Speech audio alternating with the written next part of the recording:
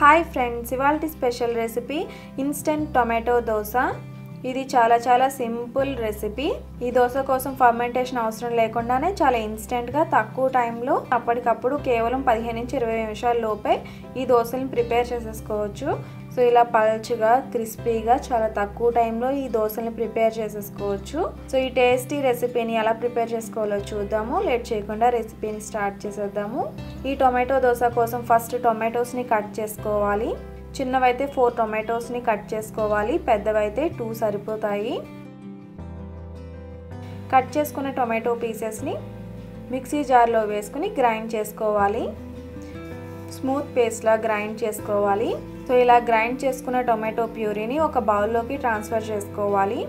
Next half cup వరిపిండి వేసుకోవాలి.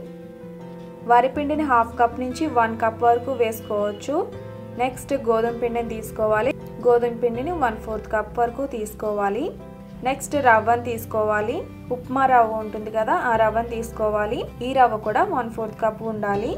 Next రుచికి సరిపడా సాల్ట్ అలాగే హాఫ్ స్పూన్ జీలకర్ర అలాగే కొద్దిగా వాటర్ కూడా వేసుకుని బాగా మిక్స్ చేసుకోవాలి. బిస్కర్తో కానీ గరిటతో కానీ బాగా మిక్స్ చేసుకోవాలి.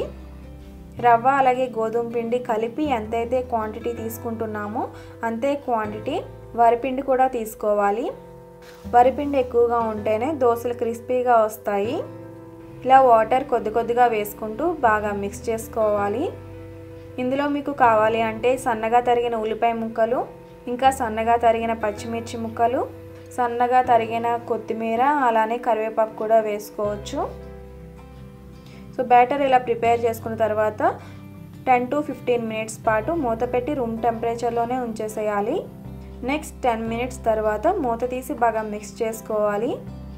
ఈ దోశ బ్యాటర్ కన్సిస్టెన్సీ చాలా పలుచుగా ఉండాలి. సో ఈ కన్సిస్టెన్సీ వచ్చే వరకు కూడా మీరు వాటర్ వేసుకొని మిక్స్ చేసుకోవాలి. సో బ్యాటర్ ప్రిపేర్ అయిపోయింది. ఇప్పుడు దోశ వేసుకోవాలి. స్టవ్ మీద ప్యాన్ పెట్టి ప్యాన్ని గ్రీస్ చేసుకోవాలి. పెనం బాగా వేడిగా అయిన తర్వాత గరిటతో దోశను వేసుకోవాలి.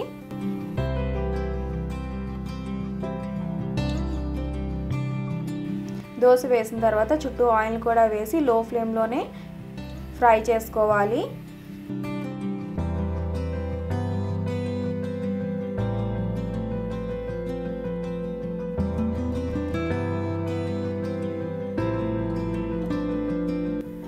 దోశ ఒక సైడ్ ఇలా బాగా వేగిన తర్వాత రెండో సైడ్ టర్న్ చేయకూడదు. దోశని రెండో సైడ్ టర్న్ చేశారు అంటే దోశ చాలా సాఫ్ట్గా ఉంటుంది.